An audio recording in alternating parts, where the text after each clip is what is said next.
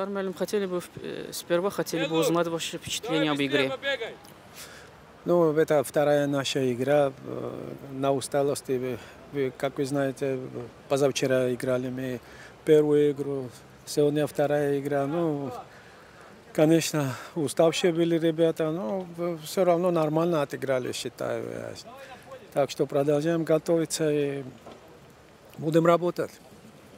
У нас новые футболисты. Ваши первые вот оценки.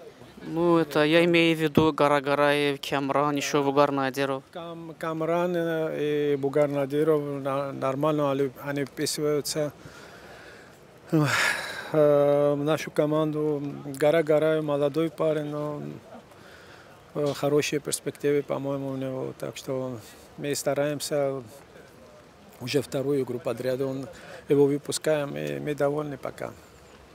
Зармелем, а новые футболисты будут? Э, Не знаю, насколько я знаю, идет работа насчет этого, так что ждем. да. А Надеюсь, что бу- будут новые футболисты.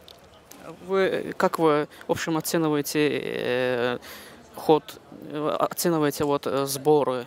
Нормально идут? Какие, сборы- что вот? идут нормально, к сожалению. э, Без травм не обходится, как всегда.